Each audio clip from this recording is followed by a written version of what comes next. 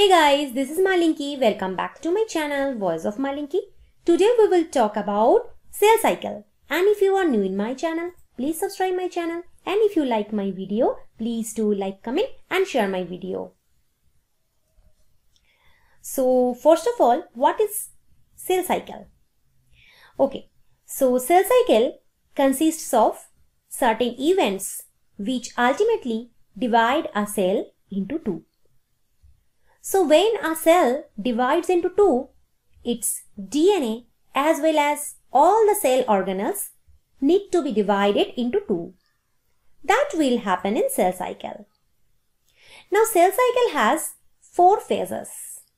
G1, S, G2 and M. G1 is also called gap 1 phase.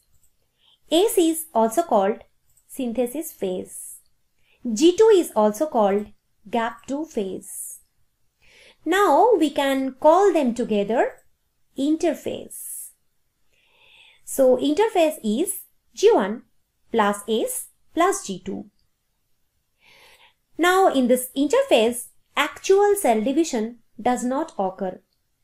During interphase, cell prepares for division.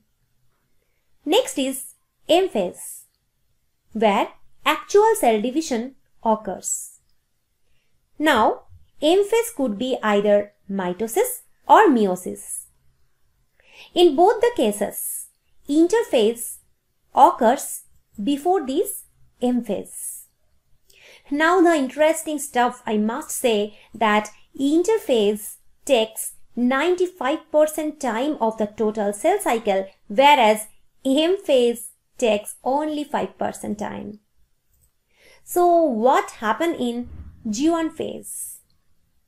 So G1 phase is the first phase of cell cycle.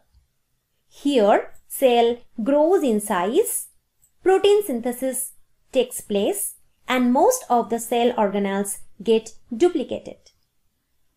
Next phase is S phase. Here DNA replication occurs, hence it is called synthesis phase. Here centrosome also duplicates.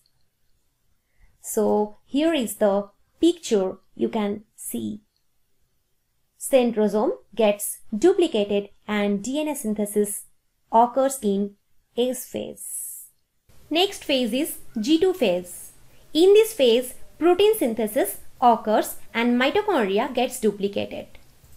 Next phase is M phase. We will talk about mitosis and meiosis separately in the upcoming videos. Hope you liked the lecture.